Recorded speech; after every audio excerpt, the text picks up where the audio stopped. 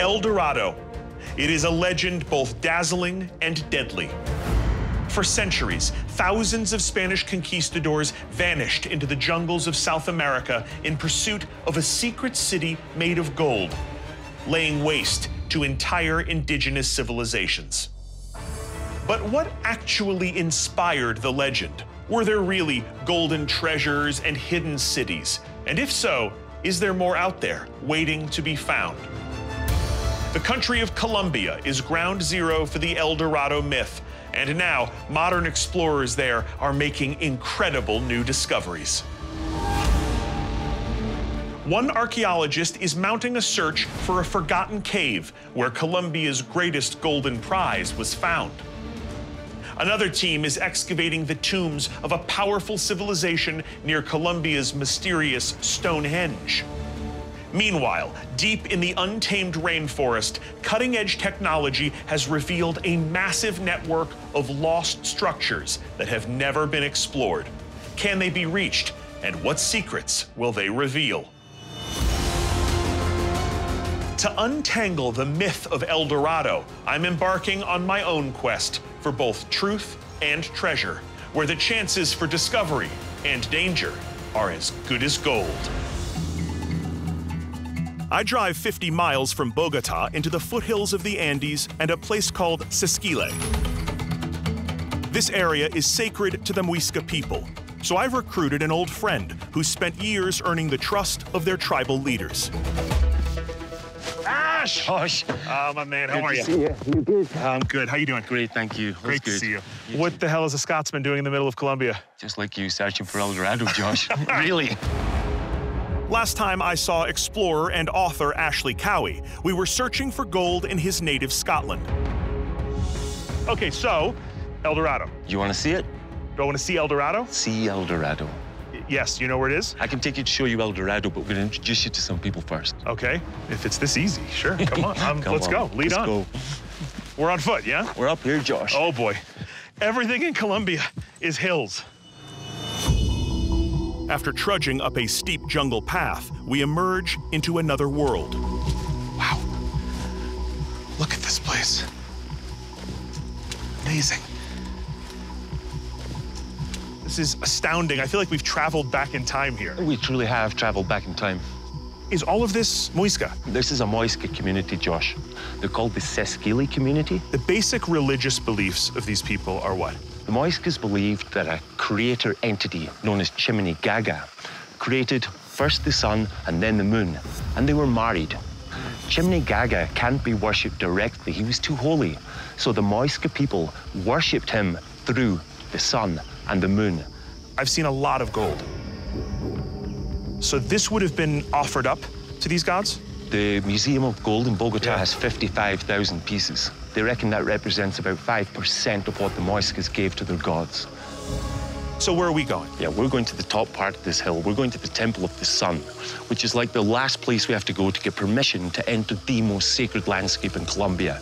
If you think about it, it's like walking through the doorway to the El Dorado myth. Let's open the door. Come on. At the summit of the hill, we find a large ceremonial structure and a friend of Ashley's. This is Candil. He's the leader of the community here. Mucho gusto. Welcome to the Temple of the Sun. Please, come inside. But the door to El Dorado doesn't just swing open. To gain access, I need to be accepted by the community. What he's going to do is a, uh, a clearing ceremony, if you like. To ask the gods for permission, we're going to share a healing medicine. He's going to give us tobacco, which is going to clear the way for us to allow the spirit of the sun god to come into us.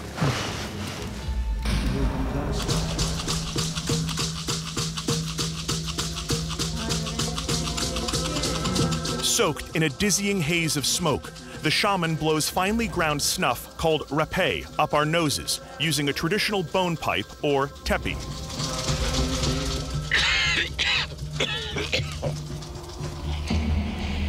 The snuff is meant to induce a relaxed state for the next step of the purification trial. A cleansing offering. These pieces of cotton are from the youngest leader of the community. The left represents the negative and the right is the positive. He's telling us to concentrate all of the negative energies we've ever had into this piece of cotton.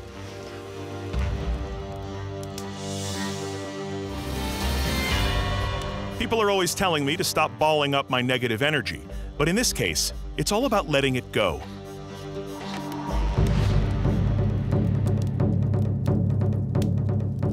Now we're going to place these in the fire. So we're asking for the good, positive energies to be fertilized into our life and for the old negative energies to be burned away.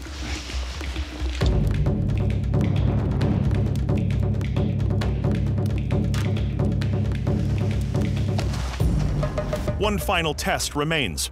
A fermented corn drink called chicha is passed around. Made by chewing and spitting out corn kernels, chicha is a sacred and boozy backwash.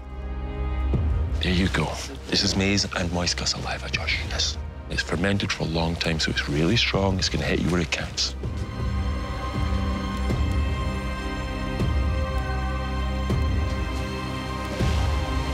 To outsiders like me, chicha is challenging, but it's also an honor. And in the smoke, the centuries seem to waft away to a time before conquest, when the Muisca were the guardians of this sacred landscape.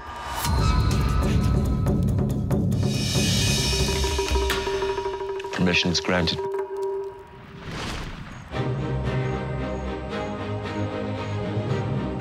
Candil escorts us from the Temple of the Sun to the ceremonial heart of the Muisca people.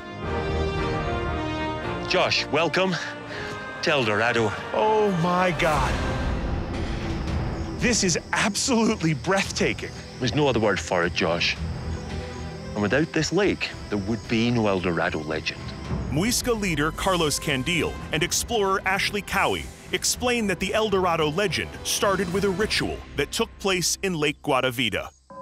The golden raft in the museum in Bogota depicts an actual golden raft that was used here at Guatavita, Josh. That golden man standing on the raft with all of his attendants around him, that was the coronation ritual to install the ruler of the Muisca land. To the Muisca, Lake Guatavita was their holiest site, where thousands would gather to witness the ascension of their ruler, known as the Zipa. When the Zipa came here to become king, they would cover him in gold. This plant here, when you mush it up, becomes like a glue that was put all over the man's body. Then he was covered with golden powder. The raft is loaded with gold figurines. And it's pushed out into the middle of the lake. And when it gets there, when the sun is shining on that king to be, he dives off into the lake. At that point, he is the golden man. El Hombre Dorado. So, El Hombre Dorado, or El Dorado. El Dorado originally is a man, is a king, a leader. So, how do we go from a man, El Hombre Dorado, to El Dorado, a city of gold? It seems like a huge leap. It's like a game of telephone, Josh. Uh-huh. The first conquistadors come here and find bits of gold, and they know that there's gold in these landscapes. Right. They hear about a golden man. Then it becomes a golden village, and there actually is records of people looking for golden villages. Right. Then it becomes the golden city.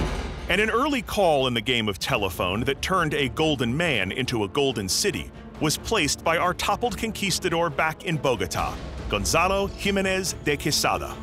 In 1536, he leads 900 men into the Colombian highlands, where many fall victim to disease and starvation.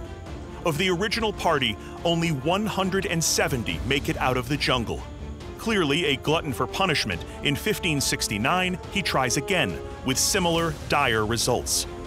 But the survivors of these ill fated expeditions return with stories of a treasure trove of offerings lost in the depths. Imagine hearing stories of people covering themselves in gold, right? I mean, you would think, oh, they must have so much wealth. They must be so dripping in gold that they can afford to bathe in it almost. Yeah. Their imaginations must have gone wild. Yeah.